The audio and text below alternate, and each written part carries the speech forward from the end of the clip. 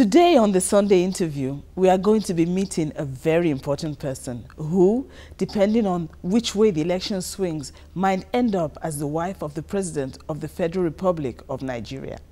She is the wife of General Muhammadu Buhari, the presidential candidate of the All Progressive Congress, Hajia Aisha Buhari. Hajia Aisha Buhari was born in Adamawa State into the family of the first Minister of Defense, Honorable Muhammadu Ribadu. A thoroughbred Fulani woman, she is a granddaughter of the first Chiroma of Adamawa, a woman with a royal pedigree. Aisha Buhari was raised in the tradition of philanthropy, which has been a guiding principle in both her private and public life.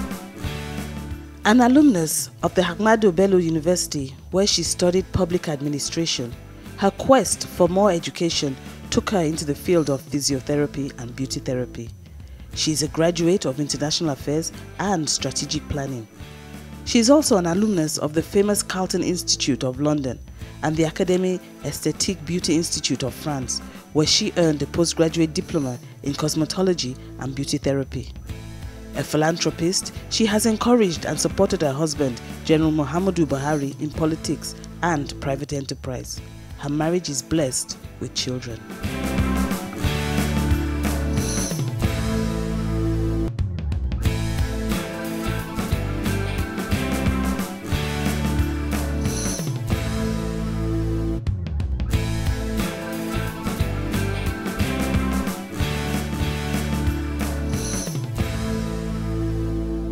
You're welcome to the program.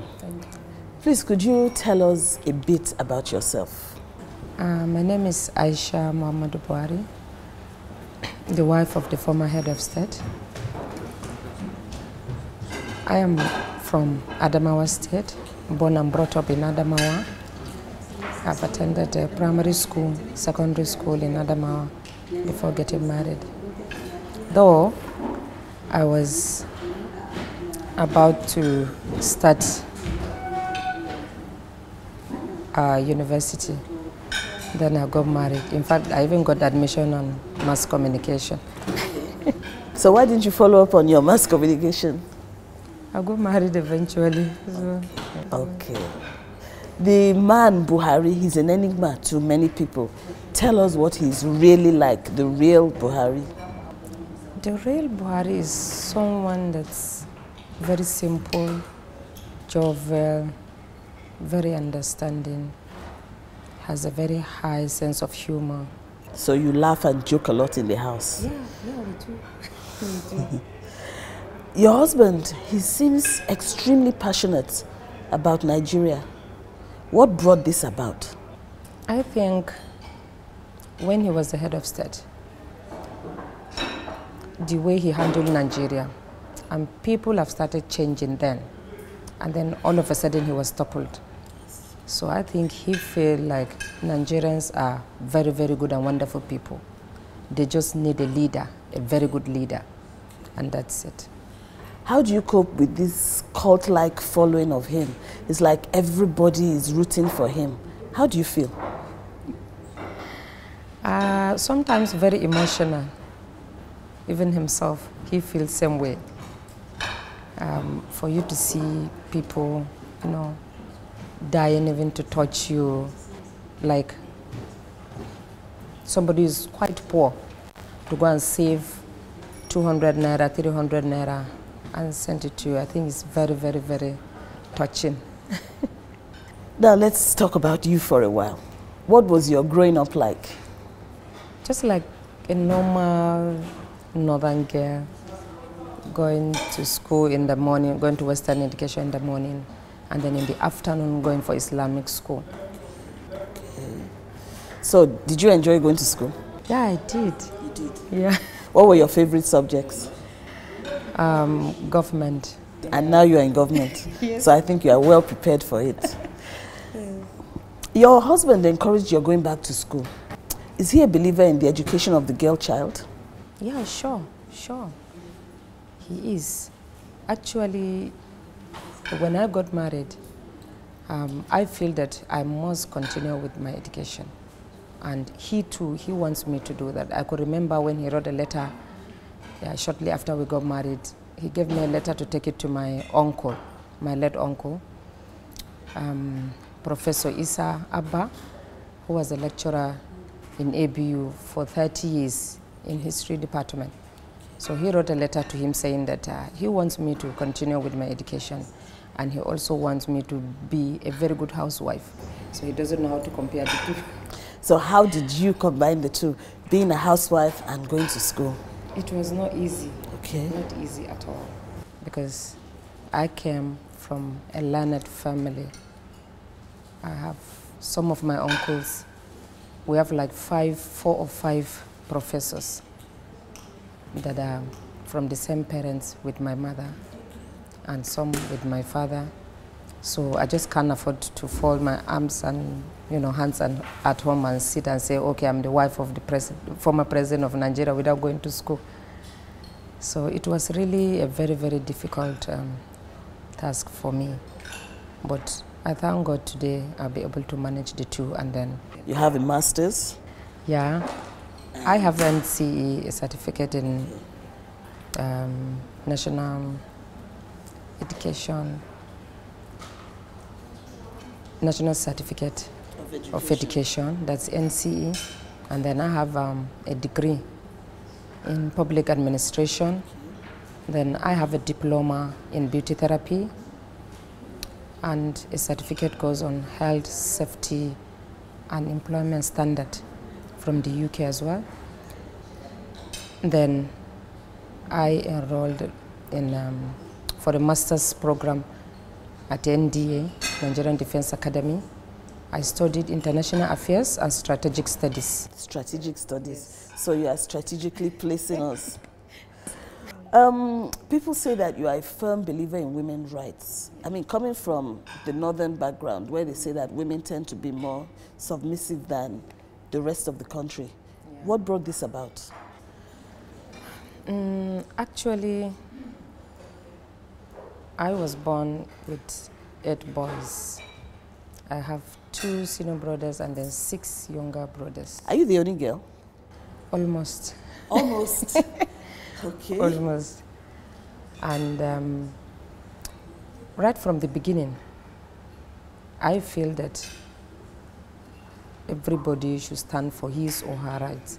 Even when we were young, my father noticed that. So my mother kept praying for me to have a husband that's so, you know, tolerant. Somebody that can tolerate me. Okay. So that means you, you, you must be very opinionated. Undomitable. Quite undomitable. And um, um, even when I got married, like few months after getting married, we're, try, we're still trying to know each other with my husband. There was, uh, like few years ago, he was telling me, he said, when we're newly married, whatever he says to me, the way I will answer, he was thinking that is the woman that was with me that telling me what to tell him. He didn't know that I was on my own. How do you think that um, you'll be able to influence him on giving women's appointments in, into his cabinet? I don't need to influence him because he's so passionate about women and he knows that once a woman get it right, everything consider it done.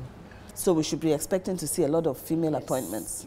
Not even appointments, you know, I think people are mistaking, you know, some few things by this um, gender inequality or gender rights. Like picking one woman from a state, giving her a ministerial post, they think that women are represented. I don't think, for me, I don't think women are well represented because if a woman in the village doesn't know who is a minister, doesn't know what's happening, um, I think picking one woman, picking one enlightened, sophisticated woman to be a minister.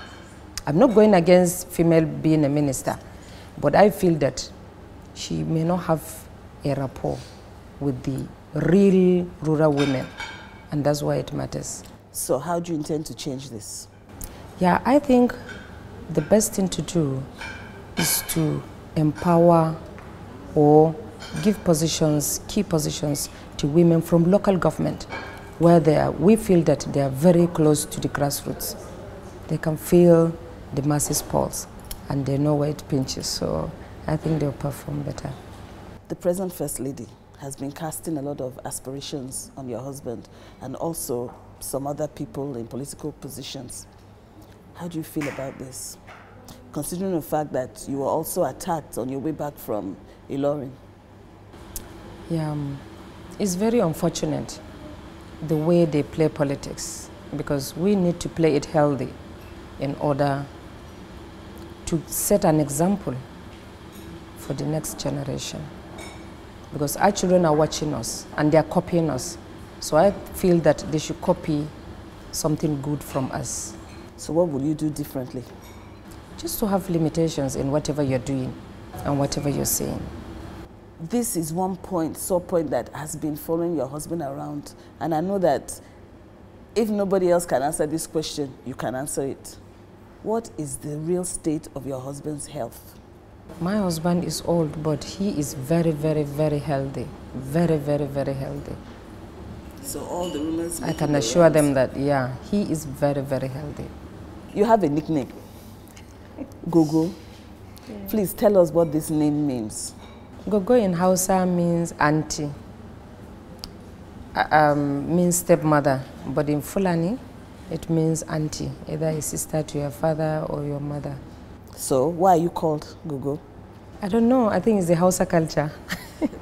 No, maybe you have been playing the role of a sister or an auntie or a mother to... Yeah, um, actually that was how I was introduced by my husband to his uh, children, that's my stepdaughters. The very first day we met, he said, this is Gogo. So I was asking him, what is Gogo? He said, um, um, a wife to your father or to your uncle or to... So your husband gave you the nickname? So to say. Now, getting back to political things, the Chibok girls, what do you think could have been done differently? Mm, I think that one involved security. Um, I think when corruption is tackled in Nigeria, we'll get the rest of the things done properly or the way it should. When corruption is tackled, and that happens to be one of the very strong points of, your husband's manifesto. Of course, because it's our major problem, or rather, it's our only problem. Corruption, corruption, corruption. Now, just before I go, I want you to tell us something that other people don't really know about you. Um, I am a lady that hates hypocrisy. Um, I want openness, and I'm a lady that's firm. I'm indomitable. So these are all the qualities that endeared the general to you. Madam, thank you very much for this interview. It's Thank been you. a wonderful time spending with you. Thank you. Thank you very much. Thank you. Thank you very much.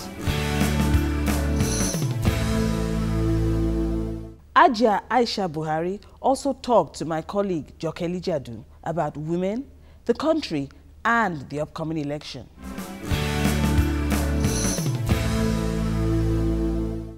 Now, as a mother, you, you were, you know, you, you've urged, you know, Nigerians not to stone anybody, you know, as, as, as contrary to the current president's wife. Why are you taking the peace side? Um, in politics, since the democracy has come to stay, we're supposed to practice it like the way we practice our religions.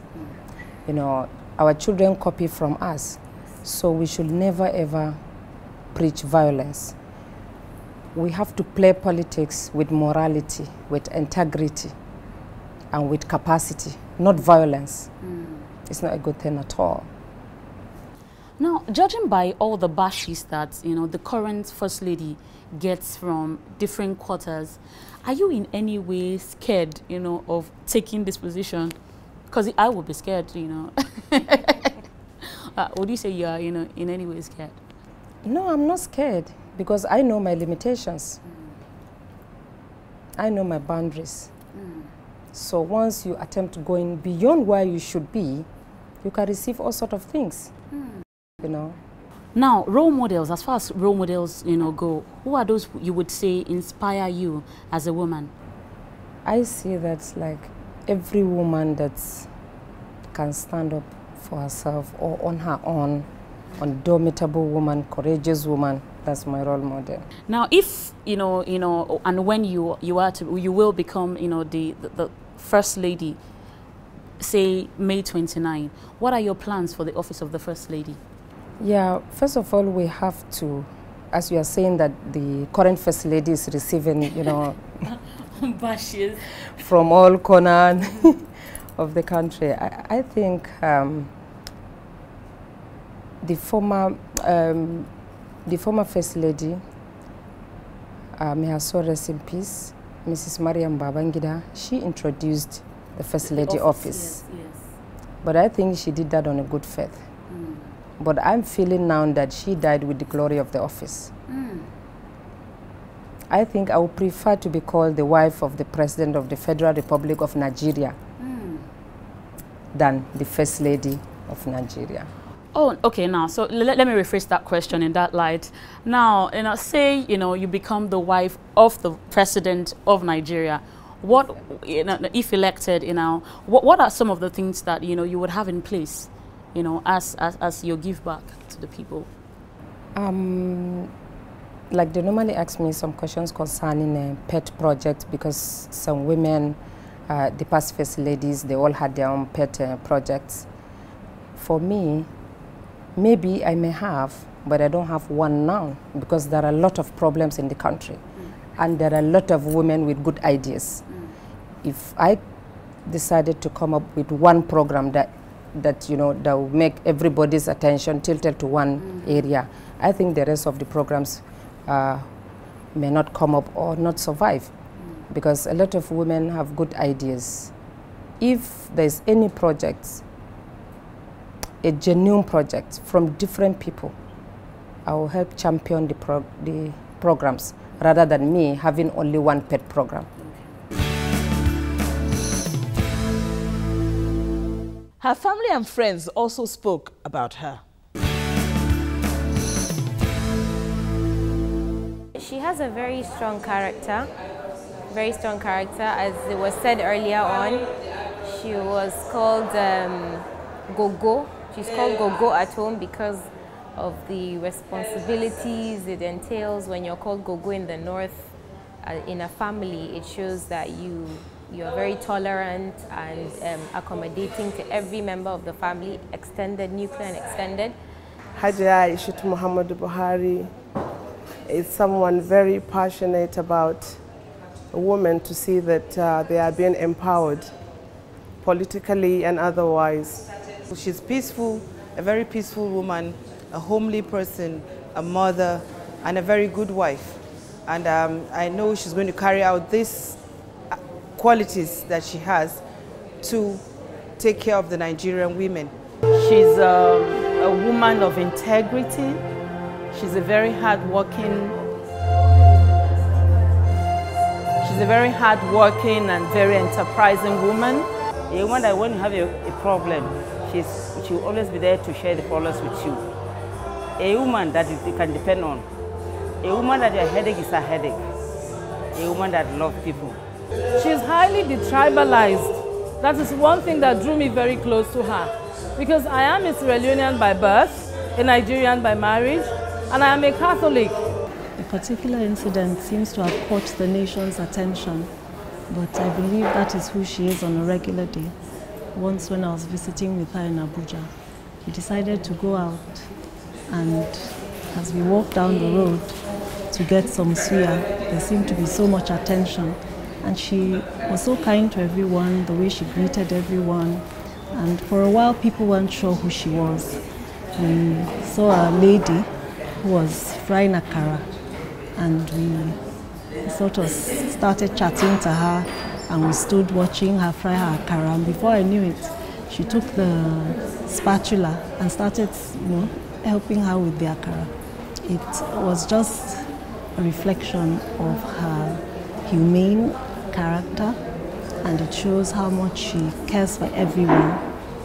The things that um, people see and imagine is for the camera, that was just a regular day.